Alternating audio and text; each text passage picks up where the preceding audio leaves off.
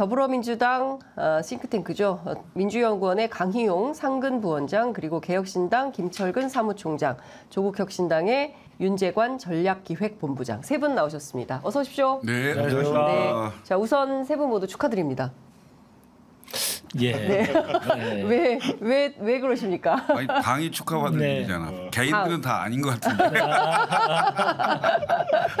아니 그래도 어? 당이 예 일단 당이 좀 대- 좋은 거 아니에요? 지난 방송에서 이번 방송도 낙선 거사네 보니까. 낙선 낙. 말을 안 했기 때문에 아, 어쨌든 좀 어떻습니까? 뭐 열사흘 동안 정말 긴 대장정 캠페인 하시느라 다들 수고 많으셔서 뭐 과정에서 저도 뭐 계속 뵀던 음, 터라 예.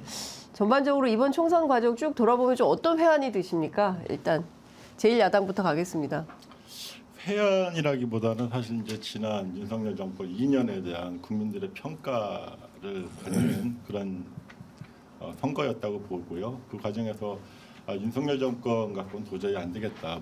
그다음에 최소한의 아, 강력한 견제 장치를 마련해 줘야 되겠다라고 하는 국민적인 여망이 담긴 선거가 아, 이루어졌다고 봅니다. 그 과정에서 뭐 이제 뭐 개헌선이니 뭐 여러 가지 이야기들이 있었습니다만 지금 있는 그대로가 국민 여론이 아닌가 싶고요. 그것을 겸허하게 받아들이면서 아, 더불어민주당 입장에서는 이 총선 결과를 무겁게 받아들이고 향후의 국정 운영의 어, 변화를 어, 촉구하면서 그다음에 이번 선거제도에서 처음 도입된 연합 정치의 모델을 삼아 가지고 어떤 성공적인 또 연합 정치를 통해 가지고 어, 국민의 민생과 민주주의 그다음 평화를 지켜나가는 의정 활동을 이제 수행해 가야 되겠다 이런 다짐들을 하게 됐습니다. 네. 조국 혁신당 이번에 너무 힘드셨을 것 같아요. 네. 마이크도 못 쓰시고 유세차도 없고요. 유세차도 없고 연설도 못 하고요. 네. 아무것도 못 하는 아홉 가지를 못한 네. 네. 플랜카드도 개최불이 불가능했고요. 음, 그래서 사실상 그냥 몸으로 음. 몸으로 모든 걸 다 해결을 해야 됐고 아이디어로 승부를 봐야 됐고 길이 없는 길을 만들어야 됐고 그런 선거를 했습니다. 근데 그럼에도 불구하고 국민들께서 그 부족한 부분을 채워주셨고요. 어, 각 지역마다 조국 대표가 방문한 지역마다 어, 국민들의 이 피켓, 이 재개발랄한 피켓 그리고 국민들께서 잘 들리지도 않는 조국 대표의 말을 듣기 위해서 그 현장을 구름대처럼 어, 몰려와 주시는 모습을 보면서 국민의 분노가 얼마나 큰지 어, 윤석열 정부 특히 검찰 독재를 조기 종식시켜야 된다는 국민의 여망이 얼마나 큰 것인지를 다시 한번 예, 확인하는 자리였다라는 생각이 듭니다. 어, 저희들로서는 많은 돌풍이다 이렇게 평가를 받고 있습니다만은 어, 조금 더 노력할 수 있지 않았나라는 아쉬움이 좀 있고요. 또 하나 지금 선거법적으로 지금 위- 비례정당에게 가해져 있는 어, 위헌적인 이 제약들 이러한 제약들이 없었다고 한다면 어, 더 좋은 결과를 가져오지 않았을까라는 어, 어, 생각도 같이 듭니다. 예. 네. 김철근 총장님은 좀 어떻게 보셨습니까? 일단 민심이 역시 두렵다라는 걸 좀 느꼈고요. 어, 개혁신당은 지역구와 비례를 동시에 배출한 유일한 정당입니다. 가장 정상적인 정당이죠. 어, 민주당은 위성 정당이 있고 어, 국, 국, 국민의힘도 위성 정당, 조국신당은 지역구가 없고 이런 상황이었는데 조국 혁신당입니다. 네, 조국 혁신당. 은 지역구가 없고, 근데 개혁신당은 이제 지역구와 비례를 동시에 배출한 유일한 정당으로서 정치를 정상화 시켜야 된다. 그리고 개혁신당이 어, 시작은 미미하지만 그 끝은 창대하리라라는 생각을 갖고 있습니다. 개혁신당을 기반으로 해서 한국 정치를 바로 잡고 개혁하는데 힘을 보태 주신 국민들께 정말 감사드리다 드린다 이 말씀을 좀 드리고 싶습니다. 어, 원내 진출이 쉬운 일은 아니거든요. 어, 그런데 이제 최종 확정은 아직 안 됐습니다만은 세석 정도 그 지역구 한 석에 비례 두 석 정도로 예측이 되는데요. 어, 세 석이 30석, 300석의 효과를 낼 수 있도록 정치는 이런 것이다라는 걸 한번 보여줄 수 있도록 그렇게 좀 노력을 해보겠습니다. 네. 음, 시청자 여러분들께서 왜 이 세 분을 오늘 아침에 모셨을까 예, 궁금하실 것 같은데 대체로 선거가 끝나면 선거 캠페인 전략가들이 출연해서 이번 캠페인 어떻게 준비했고 어, 그 뒷얘기를 쭉 들어 이렇게 들려주는 그런 프로그램들을 많이 하는데요. 그래서 이렇게 세 분을 모셨습니다. 사실 이 세 분이 각 당의 주요 전략가였기 때문에 굉장히 바쁘죠. 사실 윤재관 그 본부장 같은 경우에는 거의 아마 방송 출연도 못 하시고 그러셨을걸요. 예, 방송 아마? 출연은 할첫 시간이 출연 아니십니까, 예, 지금? 첫 출연이죠. 예. 그러니까요. 그래서 세 분 모두 참그 숨은 주역이라고 할 수 있습니다. 그 어떻습니까? 원래 예상했던 만큼의 성적표가 나온 겁니까? 더불어민주당? 아, 대외적으로 이제 대표께서 이재명 대표께서 이제 151석 그래서 이제 아, 민주당 독자 과반 정, 의석수를 이제 어, 국민들께 요청드렸었고 실제로는 이제 내부적으로 여러 여론조사를 통해서 봤을 때 지역구에서 뭐 170석 이상 나왔었던 부분이고요. 그 부분이 이제 이번 뭐 출구조사에서도 일정하게 반영되었던 그런 흐름이 있었고요. 그 깜깜이 기간 동안에 이제 얼마만큼의 보수 결집이 이루어졌는지에 대해서는 면밀한 평가가 필요하지만 여전히 그런 점에 있어서는 어, 민심이 어, 약간의 변동은 있었지만 이 정권 심판이라고 하는 큰 대세는 어긋나지 않게 이루어져 왔고 그 과정에서 절묘한 또 균형을 이뤄주셨다 이런 생각이 듭니다. 그래서 어, 지금 결과에 대해서 200석이었는데 아, 안 돼서 실망한다 이런 얘기는 전혀 아니고요. 네. 지금 과정에서 어, 야당 입장에서 과반 의석을 차지한 것도 민주당 입장에서는 처음이고 그다음에 어, 범민주 진영까지 합치면 거의 190석 가까운 의석수를 주신 거에 대해서는 정말 무거운 책임감으로 이 현재의 난국을 현재의 어떤 국가적 어려움을 헤쳐나가는데 아, 마- 마지로서 역할을 제대로 해야 되겠다 이런 생각을 갖고 있습니다. 네. 국민들께서는 오늘 아침에 저한테 문자 메시지, 카톡 뭐 이렇게 네. 보내주신 분들 음. 내용을 보면 어, 너무 감사한 마음입니다만은 국민들께서는 200석을 못 넘긴 거에 대한 이 분노가 아, 많이 있는 것 같고 네. 너무 아쉽다 이런 판단을 많이 하시는 것 같습니다. 200석이 안 됐지만 200석 넘는 효과를 거두기 위한 정치를 어떻게 할 것이냐 어, 거기에 야권 전체가 과제가 있지 않나 싶고요. 네. 어, 200석 못 넣은 거- 거에 대한 여러 가지 아쉬움들은 많이 있습니다만 국민들께서 절묘한 선택을 해주셨 던것 같아요. 어, 그 두 가지 측면인데 어, 뭐 200석을 못 넘긴 것 그러나 어, 야당에게 예, 절대 의석을 어, 부여해 주신 것. 어, 또 하나는 어, 조국혁신당 입장에서 보면 어, 민주당이 민주당이 범민주당이라고 하면 네. 180석이 단독으로 넘은 것과 아닌 것의 차이가 좀 있을 텐데 어, 거기에서도 좀 절묘한 선택을 하신 거 아닌가 생각이 들고요. 어, 국민들의 지금 쌓여져 있는 이 분노를 어떻게 하면 발빠르고 또 선명하고 어, 분명하게 할 것이냐 이거에 대한 주도권 싸움 여기는 이제부터 시작이다 저는 저희들은 그렇게 생각합니다. 네. 어떻게 보세요? 같이. 저는 이렇습니다. 그 사실은 막판에 네. 좀 보수 결집이 있었지 않나 이런 음. 생각을 합니다. 그러니까 지난번 방송에 왔을, 왔을 때도 제가 네. 그때 당시에 바로 개표를 했다. 음. 투표를 해서 개표를 했다. 그랬으면 아마 100석 이하였을 거예요. 아, 여러 그 접전 지역에서 상당한 보수 결집이 있었고 특히 이따 뭐 차근차근 보겠습니다마는 부산이나 PK 쪽에서 상당히 네. 무너졌었는데 완전히 다 뒤집혔거든요. 그렇죠. 뒤집혀서 결국 국힘이 승리하는 이런 네.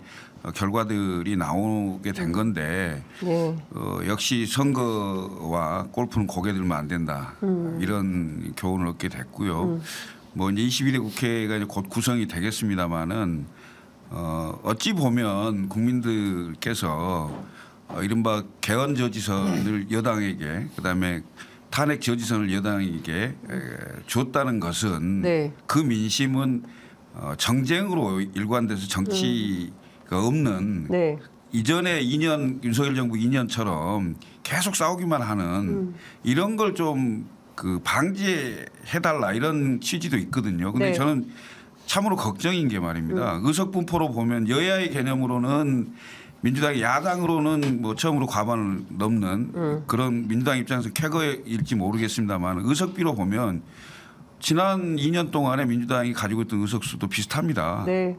절대 과반을 넘는 의석수를 가지고 있었는데 도대체 대한민국 정치를 어떻게 했느냐 이거죠. 여야 공이 똑같이 상대를 악마화하고 어, 국회에서는 통과시키면 대통령 거부권 행사하고 이 저- 이런 행위의 정치를 앞으로 3년을 또 봐야 된다는 그런 그 우려가 있어요. 어, 그런 답답함이 있는데 그래서 다들 범야권 200석이 안 된 것에 대해서 실망하시는 것 같습니다. 네. 아니, 물론 그렇게 생각할 수도 있지만 네.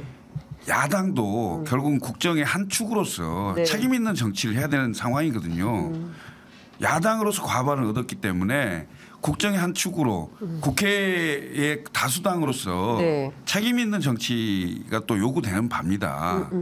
왜냐하면 대통령 권력을 적절하게 얼마만큼 잘 견제하고 끌고 가느냐도 국회와 야당의 책임이거든요. 근데 그런 지점들이 안 보이고 이전에 그 대통령 선 끝난 지금의 지금까지 2년처럼 네. 갖다 계속 싸우기만 하는 이런 정치를 좀 지향해 달라라는 국민적 요구가 요구도 담겨 있는 게 아니냐. 네. 왜냐하면 백석이라는 것 때문에 만약에 백석이 무너졌잖아요. 그러면 개헌이냐 탄핵이냐를 가지고 올, 올 할해 내내 갔을 겁니다. 맞아요. 선거 끝나자마자 국민은 지금 그게 급한 게 아니다라고 얘기하는 것일 수도 모르겠습니다. 경제와 민생에 어, 좀더 집중해 달라 이런 요구일 수도 있다 이렇게 보여집니다. 근데 지금 보면 지난 저 21대 총선 때 민주당이 지역구 의석이 163석이었는데 지금 집계된 내용을 보면 161석으로 일석. 두 석이 어 빠졌어요. 어 다만 이제 중요한 거는 그 비례 의석에서 어 조국 혁신당이 지금 12석인데 플러스 알파가 좀 될 수 있. 음, 마지막 조정 마지막 작업 조정 작업을 결과를 봐야 될? 것 같습니다. 그래서 다 합치면 지금까지 나온 것만 종합하면 186석이 되고 그 범야권 맞나요? 맞죠? 아 그렇죠. 네, 예. 범야권으로 하면 사실상 190석이 넘는 겁니다. 그러면 지금 개혁신당부터 민주당까지 다 합치면 200석은 안 되지만 190석이 넘죠. 예, 190석이 넘는 의석을 차지하는 것이고, 어, 뭐 다만 뭐 지역별로 조금 저희가 살펴봐야 되겠지만 큰 틀에서 보면 범야권이 연대해서 어떠한 정치적 역할을 해달라라는 국민의 뜻이 관철된 선거가 아니냐. 그러니까 중요한 포인트는 지금부터 해야 될 것은 이제 뭐 새로운 연합 정치의 모델을 좀 만들어야 된다. 뭐 이런 요구도 좀 반영된 거 아닌가 싶습니다. 그 민주당은 그 이번 선거 결과 이제 지금 말씀하신 대로 사실상 국민들이 3년은 너무 길다. 네. 어, 그리고 이 국정 운영 기조를 바꿔달라. 어, 입틀막 하지 말고 뭐 이런 요구가 있었던 것인데 어, 윤석열 대통령은 이번 선거 결과를 가지고 과연 국정 운영 기조를 바꿀지 새로운 변화가 나올지 어, 그로 인해서 뭐 이재명 대표도 만나고 조국 대표도 만나고 이준석 대표도 만나면서 새로운 어떤 협치의 모델을 만들어 나갈지 아닐지 이- 이것 좀 한번 전망해 볼까요? 어느 분부터 하시겠습니까? 제가 먼저 말씀드릴게요. 예. 이게 사실은 그 민주당에 대해서 뭐 이게 200석 못해서 법률가원이 200석 못해서 아쉽다 실망한다도 이제 일단 일차적인 예. 반응이 되겠지만 들여다보면 사실 이게 윤석열 정권에 대한 아, 기회를 한 번 더 주겠다는 국민적인 또 경고이기도 합니다. 그래서 이 과정에서 사실 그 동안에 이제 말씀하셨던 것처럼 아, 국회 내에서 얼마나 성숙한 의정 활동이 협치가 이루어졌는지에 대해서는 우리 국민들 다 알고 계시는 거고요. 그래서 그 과정에서 보여줬, 보여줬던 국민의 힘이 사실상 어떤 집권 여당으로서 제일 그 어, 집권당으로서의 어떤 면모나 이런 것들은 전혀 보여주지 못했거든요. 오히려 뭐 용산의 여의도 출장소라는 어, 비난을 어, 받, 받기 일쑤였고 그런 과정에서 이제 어, 집권 여당인 그 보수 개멸 직전에 어, 탈환한 우리 국민의힘도 이제 좀 정신을 좀 차려야 될 것이고 용산도 그 윤석열 대통령도 실제로 그 동안에 어, 이렇게 보수 개멸 직전까지 갈 정도의 국민적인 어, 분노의 분노의 직면을 했다고 한다면 당연히 그 부분에 있어서도 대대적인 전환이 필요하다. 그런데 그 동안의 지난 2년을 보면 사실 기대하기 어렵지 않냐. 그 그런 부분들까지 기대하기 어렵기 때문에 여전히 어, 많은 국민들께서 200석에 대해서 아쉬워하는 부분인데 그럼에도 불구하고 저희는 이제 이번에 어, 새로운 미래 뭐 그다음에 개혁신당 그다음 조국 혁신당과 같은 이제 새로운 어, 국민적 요구를 담은 어, 인자들이 의석수를 확보하고 들어왔기 때문에 새로운 협치 모델에 대한 국민적 기대가 분명히 존재하고 거기서 또한 새로운 에너지가 또 형성될 거라고 보여집니다. 거기에서 국회와 아, 용산 간의 어떤 관계에 있어서 어, 과거와 다른 지난 2년과 다른 새로운 3년을 감에 있어서의 어떤 협치 모델이 이루어져야 된다고 생각을 하는 것이고 더불어민주당은 제1당으로서 당연히 그 부분에 있어서 선도적인 역할을 하고 또 어, 가령 국회 구성과 운영에 있어서 여러 가지 이제 관행적으로 이루어졌던 제도들이 또 현, 현행 법제도들이 있습니다. 특히 대표적인 게 교섭단체 부분에 대해서 어떻게 운영을 할 것인가에 대한 부분이 있는데 이 부분에 대해서 좀 더 유연하게 국민적인 의견 그다음에 이번에 어, 연동형 비례대표제를 저희가 도입했던 그 취지에 맞춰 가지고 연합정치에 부합하도록 이 어, 교섭단체 부분에 대한 어떤 적극적인 네. 좀 수정들이 좀 변경들이 필요해 보인다라고 생각이 들고요. 이런 과정에서 자연스럽게 국민의 힘도 좀 이제는 좀 달라져야 된다. 솔직히 윤석열 대통령이 보수의 사람은 아니지 않습니까? 그런 사람 데려다 놓고 대통령 시켜가지고 자기네들 집권을 했으면 이 나라의 보수로 자처하시는 분들의 자기 자존심이 있어야 되는 거예요. 근데 지금 보여줬지 않습니까? 그래서 서서 죽겠다는 한동훈을 이제 더 이상 따라가서는 안 된다 생각이 들고요. 그래서 정말 아, 한국의 정치가 잘 되기 위해서는 일방적으로 민주나 보수가 편향되어서는 안 되듯이 보수도 제대로 된 보수가 잘 자라나야 된다. 그런 점에서 저는 이준석의 생환이 뭐 저희 공영 후보의 낙선은 아쉽지만 네. 어, 좀 기대되는 바도 있다라고 생각합니다.